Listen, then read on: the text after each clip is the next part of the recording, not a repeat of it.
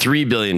Well, maybe about 2.5, but it'll be somewhere between 2.5 and $3 billion. That's what the Suns are going to sell for. Robert Sarver finally, finally threw in the towel, but he only did so in the most Robert Sarver way, putting out the following statement saying, as a man of faith, which as soon as I saw that, I immediately thought this has got to be a Nick Castellanos bit, but no.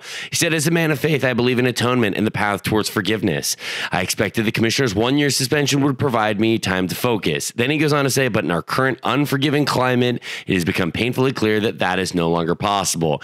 He's like, you guys just couldn't forget that I said the N word five times and like maybe brushed up against my coworkers in a gross, aggressive way. One year wasn't enough time. I mean, it's just, it's the most Robert Sarver way to throw in the towel. And he's going to walk away with 2.5 or $3 billion. But at least the Suns will have an owner that isn't a complete creep.